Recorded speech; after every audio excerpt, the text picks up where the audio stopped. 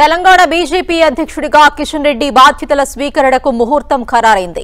ఈ నెల ఇరవై ఒకటిన ఆయన బాధ్యతలు తీసుకోబోతున్నారు. ఈ కార్యక్రమాన్ని అట్టహాసంగా నిర్వహించేందుకు బీజేపీ నాయకులు ఏర్పాట్లు చేస్తున్నారు.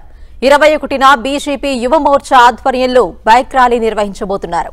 ఆ తర్వాత బీజేపీ రాష్ట్ర కార్యాలయం దగ్గర సభ ఏర్పాటు చేసే అవకాశం ఉన్నట్టు తెలుస్తోంది. ఇక బీజేపీ అధ్యక్షుల్లో ఎవరికీ దక్కని అరుదైన ఘనత కిషన్ రెడ్డి సొంతమైంది. నాలుగు సార్లు బీజేపీ రాష్ట్ర అధ్యక్షుడి బాధ్యతలు చేపట్టిన వ్యక్తిగా ఆయన రికార్డు సృష్టించారు.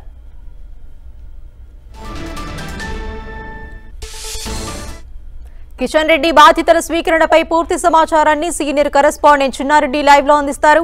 చిన్నారెడ్డి. సృజన బీజేపీ రాష్ట్ర అధ్యక్షుడిగా నాలుగోసారి ఆ, కేంద్ర మంత్రిగా ఉన్న కిషన్ రెడ్డి బాధ్యతలు తీసుకోబోతున్నారు. ఈ నెల మొదటి వారంలోనే ఆయనకు ఆ, రాష్ట్ర అధ్యక్ష బాధ్యతలు అప్పగిస్తూ ఆ, జాతీయ నాయకత్వం నిర్ణయం తీసుకున్నప్పటికీ ఆయన కేంద్ర కేబినెట్ పదవిలో కొనసాగుతారా లేదా మరోసారి మరోవైపు ఆషాఢ మాసం కారణంగా ఆయన బాధ్యతల స్వీకరణ కార్యక్రమం వాయిదా పడుతూ వస్తుంది. ఈ నెల ఇరవై ఒకటవ తారీఖున ఆయన బాధ్యతలు స్వీకరించబోతున్నట్టుగా బీజేపీ కార్యాలయ వర్గాలు తెలిపాయి. కేంద్ర మంత్రిగా ఉన్న కిషన్ రెడ్డి ఈ నెల పంతొమ్మిదో తారీఖు వరకు విదేశీ పర్యటనలో ఉంటున్నారు.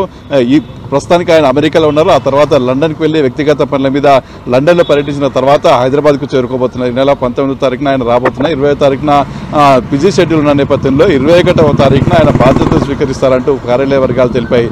ఇక అత్యంత క్లిష్ట సమయంలో ఆయన మరోసారి అధ్యక్ష బాధ్యతలు స్వీకరించబోతున్నారు. ఎన్నికలకు కేవలం ఐదు నెలలు మాత్రమే సమయం ఉంది.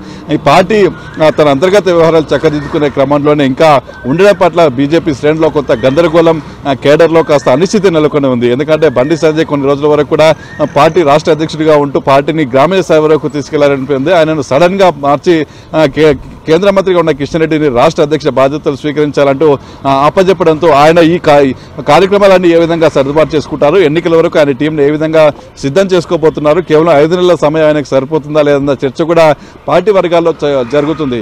ఈ నేపథ్యంలో ఇరవై ఒకటవ తారీఖున ఆయన బాధ్యతలు స్వీకరించబోతున్న నేపథ్యంలో అంతకంటే ముందే పార్టీ తన కార్యక్రమాలను ప్రకటించింది. మూడు రోజుల పాటు వరుసగా సమావేశాలు నిర్వహించారు రాష్ట్ర కార్యాలయంలో. ఈ మూడు రోజుల పాటు నిర్వహించిన సమావేశాల్లో పలు కార్యక్రమాలు తీసుకోవాలంటూ రైతు సమస్యలపైన ఇటు విద్యార్థుల సమస్యలపైన మరోవైపు రేషన్ కార్డులు ఇవ్వడం లేదని పేదలకు డబుల్ బెడ్రూమ్ ఇల్లు ఇవ్వలేదని రాష్ట్ర ప్రభుత్వం హామీలు ఇచ్చి కేసీఆర్ హామీలు ఇచ్చి ఏవైతే మర్చిపోయాడని విమర్శలు చేస్తున్నారో వాటన్నిటిపైన దశల వారీగా పోరాటాలు చేసేందుకు బీజేపీ రాష్ట్ర నాయకత్వం సన్నద్ధమైంది.